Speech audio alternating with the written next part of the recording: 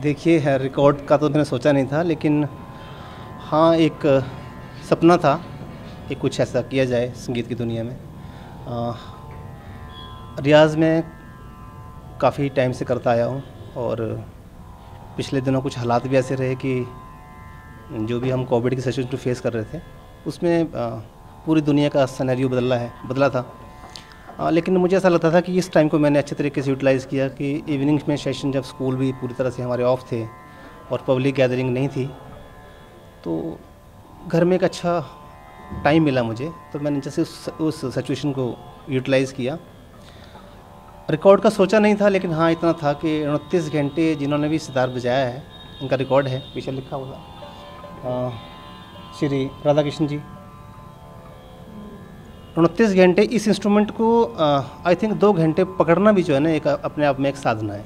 क्योंकि इसमें आपका पूरा बॉडी पोजिशन काम करता है, इसको ऐसे होल्ड करना और फिर वो हिले ना इंस्ट्रूमेंट आपका। तो पूरा ध्यान यहाँ पे रहता है। उसके बाद जो हैंड मूवमेंट है बोथ हैंड्स का कंट्रीब्यूशन राइट हैंड से स्ट्रोक लगाना और लेफ़्ट हैंड से स्ट्रिंग को प्रेस करना। तो ये जो स्ट्रिंग होता है, इसका ये बड़ा हार्ड होता है। इसके ऊपर आप पाँच मिनट भी उसके ऊपर आप फिंगर नहीं रख सकते। पर यह था कि रियाज था प्रैक्टिस थी और मैंने कोशिश की और करने करवाने वाला तो शायद कोई और ही होता है। भगवान की कृपा से माँ सरस्वती का आशीर्वाद रहा तो मैं इस अचीवमेंट्स को कर पाया बहुत ही। देखिए being a music teacher department से टाइम टाइम पे मुझे अच्छी रिस्पॉन्सिबिलिटी मिलती रही है। आ, मैं बड़ा अपने आप को खुशकिस्मत मानता हूँ कि 2008 से मैं डिपार्टमेंट में आया हूँ और 2008 से ही डिपार्टमेंट ने मुझे आ, जिस डिस्ट्रिक्ट में मैं काम कर रहा हूँ एज ए कल्चर सेक्रेटरी उन्होंने मिला था। Culture secretary of district south west भी। तो 10 साल तक मेरी ऐसी अचीवमेंट्स रही कि मेरा डिस्ट्रिक्ट कल्चर में नंबर वन रहा। फिर मुझे हेड ऑफ़िस भेजा गया कि आप पूरी दिल्ली के स्कूलों को देखिए। तो वहाँ पर अच्छा एक्सपीरियंस रहा। छः महीने पहले डिप्टी सीएम ऑफ़िस से एक मुझे कॉल आता है कि आप कि हमारे सर आपसे मिलना चाहते हैं। तो मुझे लगा कि शायद ये कोई ऐसे, कोई फ्रॉड कॉल है, लेकिन पता लगा कि डिप्टी सीएम खुद खुद मेरा सितार बहुत इन्जॉय करते थे। उन्होंने कहा कि आप एक बार आइए और आपकी प्लानिंग क्या है इस इंस्ट्रूमेंट को लेके? तो इतनी आप मेहनत करते हैं, आप, मैं आपकी वीडियोस देखता हूँ, पहाड़ों में जा रहे हैं आप, पहाड़ों में साथ साथ सितार बज रही है आपकी। तो कुछ ऐसा सोचो कि आप बड़ा, जिसमें आपको लगता है कि डिपार्टमेंट्स की तरफ़ से भी आपको पूरा सहयोग रहेगा। तो एक पूरी सपोर्ट थी और जो भी नया कॉन्सेप्ट आया है स्कूल ऑफ़ स्पेशलाइज्ड एजुकेशन का ये एक वरदान है मेरे लिए, क्योंकि यही हमारा स्कूल है, एक परफॉर्मिंग आर्ट बना है। और भाई संयोग कह लीजिए संयोग से मुझे इसी स्कूल में अभी मैं पोस्टिंग हूँ। तो बच्चों के साथ काम करने का मौका मिलेगा। अभी तो खैर, बच्चे स्कूल नहीं आ रहे हैं, लेकिन, हैं, बहुत अच्छा एक तरीके से मेरा विज़न है कि हम बच्चों को ऑर्केस्ट्रा में एक अपनी पूरी टीम तैयार करें। और कहीं ना कहीं बच्चों का जो कैलिबर है, बच्चों का जो पोटेंशियल है in the field of music क्योंकि कहीं ना कहीं आज की डेट में पहले एक दौर ऐसा था कि जो बच्चा म्यूज़िक में अच्छा नहीं है अगर वो पढ़ाई में अच्छा है तो वो म्यूज़िक में पीछे है। अगर वो स्पोर्ट्स में अच्छा है तो वो पढ़ाई में कमज़ोर है। लेकिन अब अब एक ऐसा टाइम आ गया कि जिसमें बच्चे के अंदर हम एक ओवरऑल की डेवलपमेंट है उसका जो एकेडमिक है उसका जो स्पोर्ट्स है उसका जो म्यूज़िक है वो इक्वली एक बैलेंस करके तो बड़ा अच्छा एक दौर शुरू होने वाला है। और कहीं ना कहीं मैं डिपार्टमेंट से जुड़ा हुआ हूँ तो मुझे बड़ी खुशी है कि सर आपने कैसे कॉन्टेक्ट किया? ये एक लंबा प्रोसीजर है कि पहले हम ऑनलाइन एक अप्लाई करते हैं। आपने अप्लाई किया था पूरी प्रक्रिया बताइए। हाँ ये ऑलमोस्ट नौ महीने पहले मैंने अप्लाई किया। आ, मैंने पूरी फॉर्मेलिटी के साथ में एक मुझे उन्होंने एक एप्लीकेशन रेफरेंस नंबर दिया। पहले मैंने अपने हमारे आदरणीय एच सर बैठे हैं उनसे मैंने परमिशन ली कि मैं इस काम के लिए जाना चाहता हूँ। तो उन्होंने कहा कि हमारी ब्लेसिंग्स आपके साथ हैं आप करिए और हमें पता है कि आप कर पाएँगे।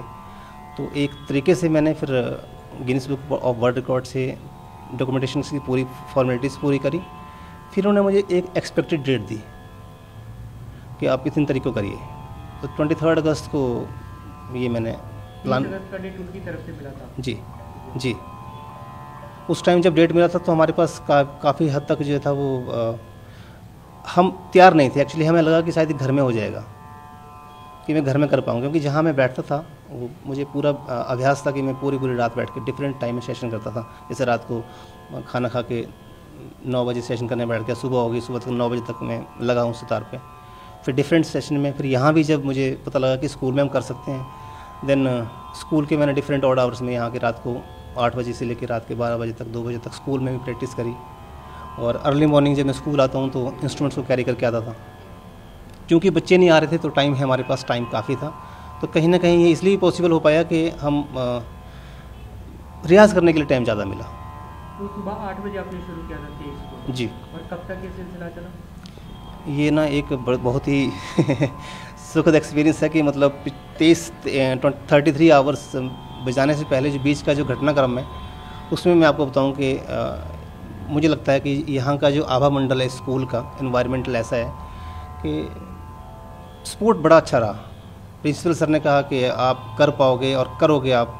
जो भी आपको फैसिलिटी चाहिए हम देंगे आप स्कूल आपके साथ है। जो आप बोलोगे आपको वैसे हम सुविधा देंगे आप गो अहेड तो स्टाफ ने भी पहले से ही ये मतलब एक्सपेक्टेड था कि हाँ कि नहीं आप बनाओगे आप मुझे मेरे पर एक तरीके से उम्मीदों का जो था एक जो भार था ना वो ज़्यादा हो गया था।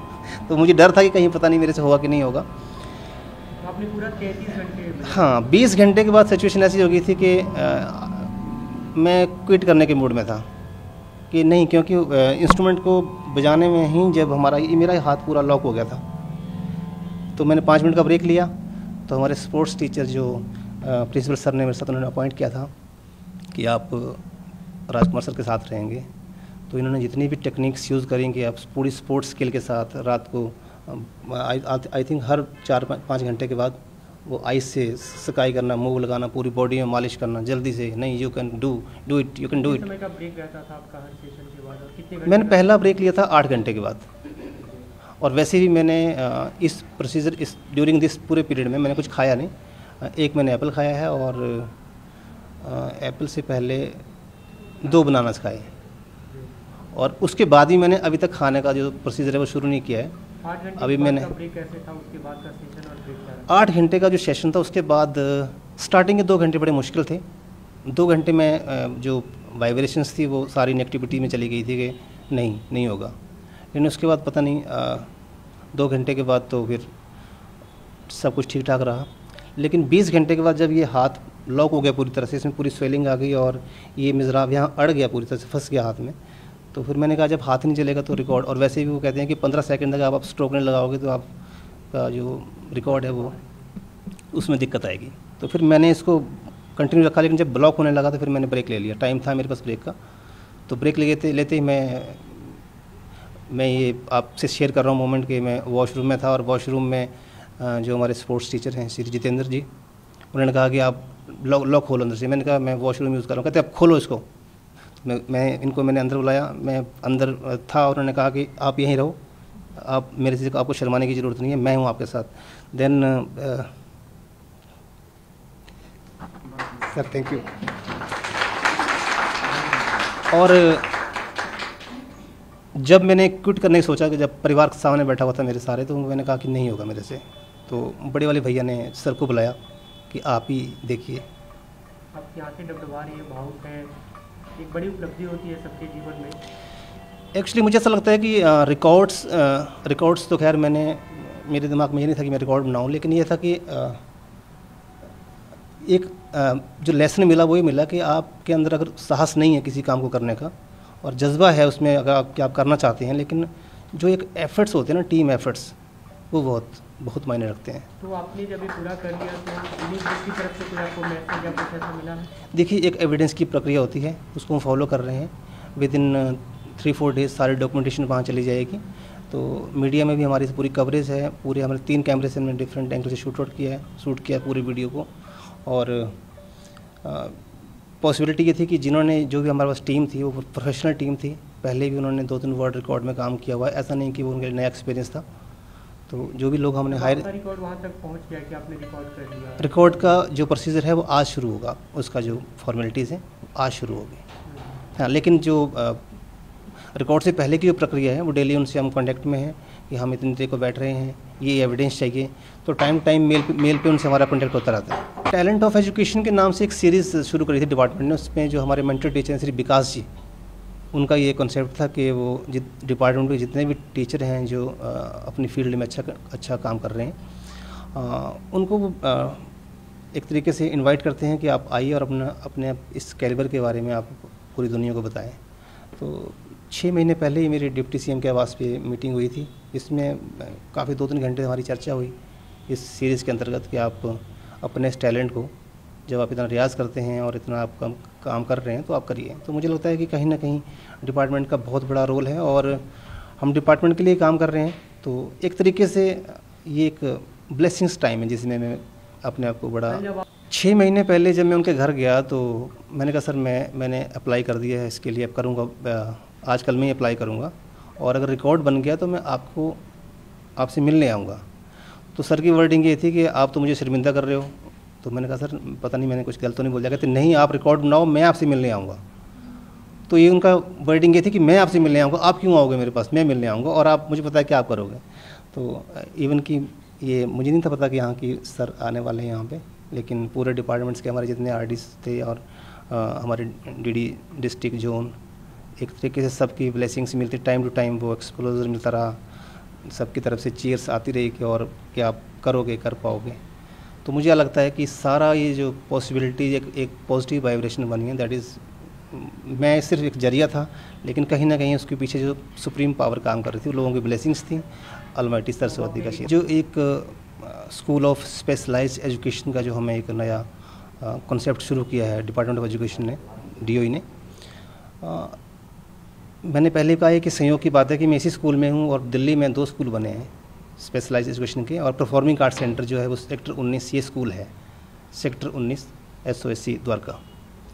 तो अब जो हमारे पास जो टैलेंट आएगा जो बच्चे आएँगे एक तरीके से उनका जो कैलिवर है वो दिखेगा आपको एक साल के बाद कि हम बच्चों को में क्या आ, किस तरीके से हम उनका उनका टैलेंट को नर्च करते हैं। तो एक प्लानिंग पूरी है कि बच्चों को एक अच्छे तरीके से अच्छे कॉन्सेप्ट में उनके जो आ, इस परफॉर्मिंग आर्ट को अच्छे तरीके से निकाला जाए। और ये आपको मैं ज़रूर अपनी तरफ़ से विश्वास दिलाता हूँ कि ज़रूर होगा ये काम।